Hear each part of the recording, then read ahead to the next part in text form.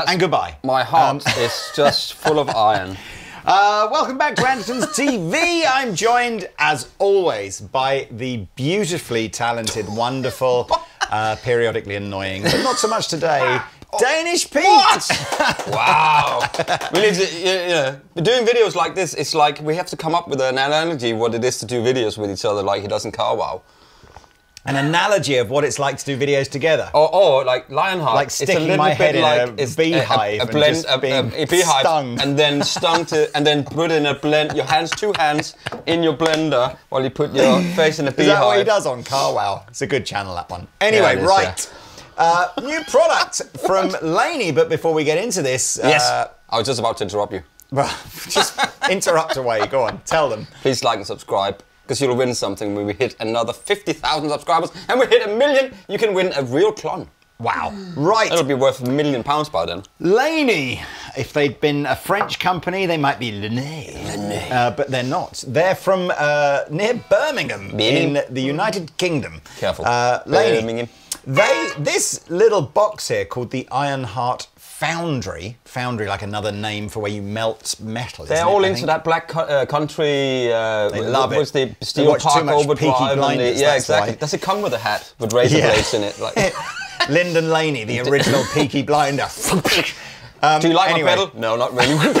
Just slit to So death. this, right, come on, we'll get there. Yeah. This, believe it or not, is a 60 watt guitar amplifier with emulated DI output, two channels boost. It's a pretty cool effects loop, all that good stuff. Input aux, output headphones. Aux. Um, So, yeah, and so this is running off of a, a 24 volt um, sort of wall wart style Wall wart. mains supply, uh, which you get included in the price. Mm-hmm. Uh, and what you heard in that first bit of the jam was basically us just plugging it into a normal cabinet. So Mm. we're into a little 1x12 cabinet down here that we've mic'd up. Uh, and it's 60 watts, so it's a lot louder than I kind of thought it might be. Given you know, bearing in mind it's coming off of a like a, a mains adapter rather than you know the Yeah, full yeah, yeah. 240 volt thing. What? Anyway, uh, we've got the reverb coming from uh, TC Hall of Fame, which is through the effects loop. Ariel Posen uh, preset here. Uh, and you just heard in that opening clip, I just very, very quickly went through channel one with, the, and then with the boost, and then channel two with the boost, which Yeah. is its vibe, right? I like it. This Ironheart bit is lit. Look at this. Look. Wait, there's a little Bye-bye. turn it on and off switch as well. You Oh, is there? that stuff, Oh, there is. Apologies about that. Honestly. Um, so and that's the video, so thank you very much for watching. Yeah. Let's start on channel one through the cabinet, and then once we've done a quick run round here, we'll show you the emulated output. Yes, Um, Yes, sir. And Yes, also, sir. it can be used as a normal distortion pedal into the front of an amplifier. Oh, can it? If you'd like to do that. Can it? Yes, you have to use the effects send because that runs as like a line out. Yes. yes. Can you- Yes. Can you use it into the effects loop of a. Yes! So it's going to become a preamp. Could be all those things. Wow. Uh, and you can do all those things simultaneously, other than you can't use the effects loop at the same time as using the line out. But that depends if you can multitask. I can't. I so know clean. I'll just play the same old licks. Can somebody Yes. just teach me some new licks?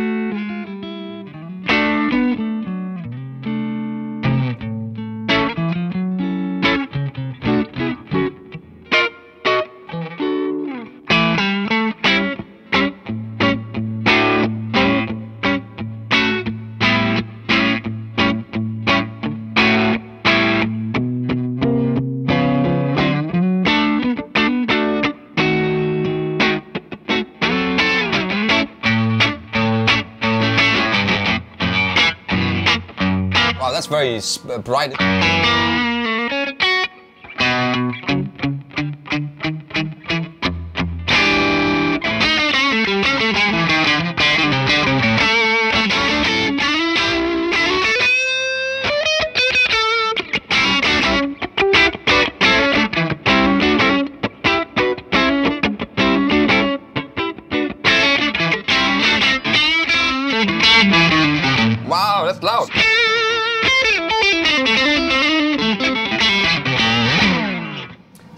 Channel one.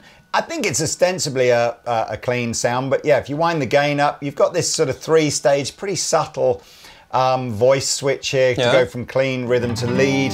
I, when we first plugged this in, I found this switch very subtle, so phoned uh, Laney um, the guy who designed this, and he said, yeah, it's pretty subtle until you get the the gain wound up. So I would say it's. Um, hard to say if it's misleadingly um, screen printed on here because it says clean rhythm and lead, but it, it's a it's a, a voicing flavor rather than necessarily a you know like a yeah. It's definitely That's all it is. Salt Bay. It could yeah. It's a bit salt, salt Um, based.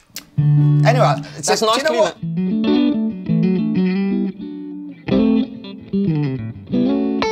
It comes out of that. All of it is coming out of Yeah, that little that- box that's it. with the a whole speaker thing cable. just well, and a reverb pedal, Yeah. and a cab, Yeah. and a guitar, and a guitar, guitar, player, and a table, to And a table, and you and a coffee. that, and electricity. Yeah, and a Um, phone. But it's cheap. You know, I say cheap. You know, it's relatively Affordable. speaking. This is under two hundred pounds. You know, That which is, is- and, and there's lots of products coming out in this kind of category now. Yes. But we're kind of seeing, you know, you had the the Bluguitar thing and the Victory V4 and the Milkman thing. So they're sort of sitting up at the sort of you know eight hundred to thousand pound. Yeah, yeah. Maybe I suppose you could argue they're certainly louder, maybe a bit more pro featured. Yeah. Then you had Blackstar. I've done Amped One recently. It's kind of really you know sold a lot of products sitting in that sort of more mid price range. thingy. Yeah, yeah, yeah. This though at 189, I think this is going to be is nuts. And we're, we're I think you mentioned it. You're almost down into that orange micro stamp Yeah, thing or yeah, Terror yeah, stamp, whatever it is. Less features on that one, you know. Way less features on the Terror stamp, you know. So I think Hughes and Kettner maybe do. They do uh, it the Baby little, Spirit, Oh, they do the Spirit, little, yeah, something the- like yeah. that? Yeah, spirit of rock and Spirit blues and rock. But I like this so far. I- You know what? I, this is and those, if I remember rightly, the, the, the orange Terror stamp and the little HK, they're only 20 watts or something Yeah. like that. Whereas this is 60. So it's Yeah. definitely. I mean, we're getting volume here that I think you would happily you Well, know, do a little gig uh, with it. should we, Should we uh, check? Easy peasy. Over That is- 100 dB. That is loud. no problem. Yeah, On a clean sound as well. I'm really impressed. Stretch the strings quickly, but The boost function uh, can be used over either channel one or channel two. It has its own separate level control to see how much we boost. I actually don't know whether this is like a pre or a post boosty thing, so I guess we'll find out. If it's if it's pre, If it- it, will just add more saturation and a little bit of extra volume, maybe. If it's post, it'll add a lot more volume. but volumes. We'll see. Let's have a look. Volumes. I'll hope it's in the front because that's how I like Okay. it.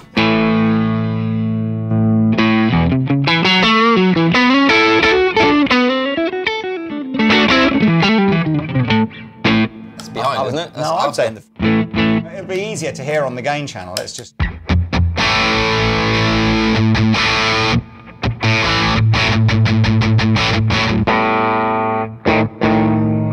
So it's in the front like a traditional, if you hadn't like an external boost pedal going Yeah. into this. And of course, you could use this with uh, other drive pedals in the front if you want to. Absolutely. So there's the boost, which is kind of cool. But we'll maybe stay on that a little bit longer just to sort of see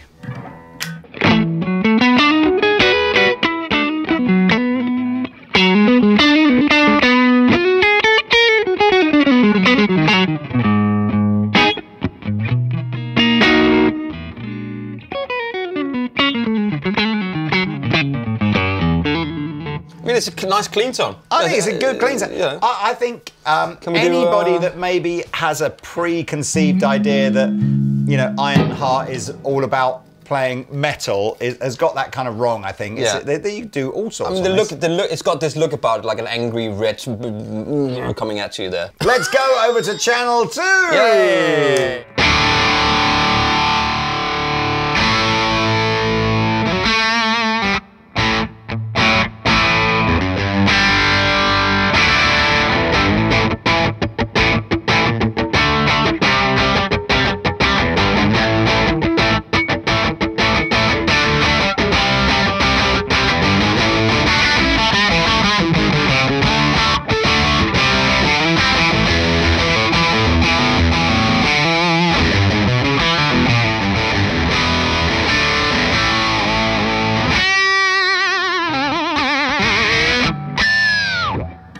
Um, this is all analog with no valves. That sounds So great, It's not man. digital. It's not valve. It's solid state analog, I guess, isn't it? So it is an analog thing. That it feels, Yes. it feels nice. Yeah, It it's doesn't got a- feel like a. the, the power amp will inevitably be one of those little highly efficient sort of class D little uh, power modules, but the D in that doesn't stand for digital. It's just it's just what that D, the D. The D is Man, not I feel digital. like a. Uh, let's hear what the boost thing sounds like before.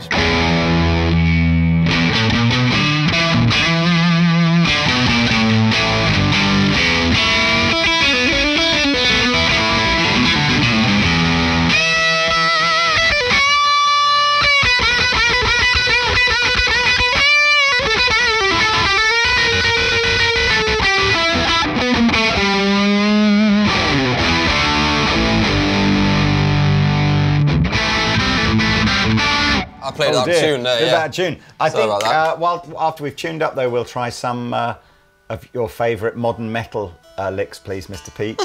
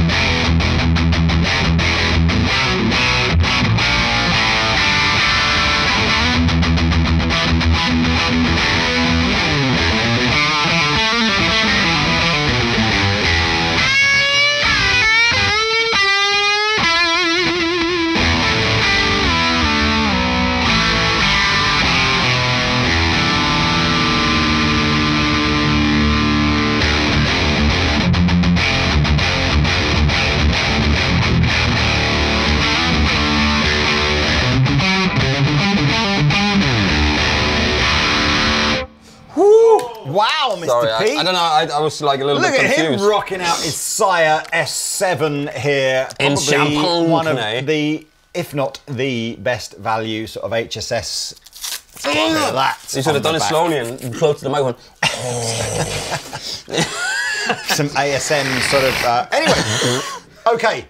Uh, one more switch to tell you about, which we haven't used, is this uh, EQ. Well, it's not an EQ switch. Wow. It's sort of it's a bright to dark to flat switch, and this is ever so handy because you will quite often find, depending on whether you want to use the cabinet output, the um, emulated output, or straight into the front of an amplifier, especially straight into the front of an amplifier, you sometimes just want to adjust the overall sort of brightness or darkness of this pedal to suit. But into the cabinet, flat was pretty good. Again, it's another fairly subtle EQ switch, but very, very handy. Now we are going to switch over to hearing just the DI sound. So I will unplug the um, cabinet, and that's another cool thing about these types Yes, of um, that is really good, Class actually. D style uh, power amps here. They don't care whether there's anything plugged into the speaker output. Bit or like not. me. Right, there's one other thing to tell you about here before we get going. The balanced DI output here, you can choose to have the speaker emulation on or off. We've got it on. It's just basically like an analog, um, no option sort of setting to have a Yeah. speaker emulation out. If you own a separate little IR box like the TC, what's it called, the Impulse or something Impulse, like yeah. that, or you've got loads of Anything IRs like on yeah, your on your uh, door, then Door. by all means switch that off and Mic put your own one on. Okay, and just a couple more things. Of course, you've got an auxiliary input here on the back. You've got a headphone output, which is cool. That's good. So I could almost see people whack one of these at the end of your pedal Whack. board, headphones in. Yeah. Boom. Boom. Silent practice at home. Anyway, that's it. We'll just go through the four sounds now through the DI. Uh, 189. Um, free shipping from Andertons if you live in the UK. Um, comes with a power supply. There's nothing. It's uh, it's really good. I really Links like below. it. Links below. And Salt it, Bay. super cool stickers as well. Comes It with. does come with some cool stickers, like Mm-hmm. a skateboard from the 1980s or something. Right. Go. Is that it? Yeah. Are we saying goodbye and playing out? Or? Uh, yes, goodbye and let's play out. Yeah. Please like and subscribe. See ya.